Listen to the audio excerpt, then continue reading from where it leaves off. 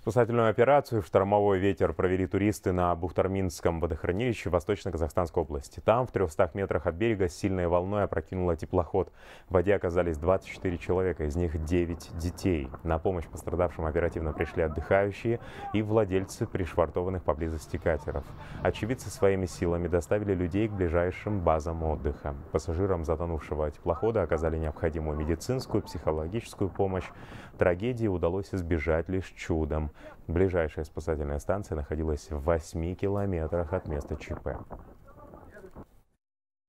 От нашей базы расстояние на 8 километров, э, в то время как э, данный катер начал тонуть в 300 метрах от берега. И ее увидели вот эти граждане. Данную операцию они осуществили в два хода. Э, первоначально, соответственно, они оттуда вывезли маленьких детей Э, то есть э, помощь была оказана несовершеннолетним. После э, последним рейсом они оттуда вывезли уже взрослых и членов экипажа.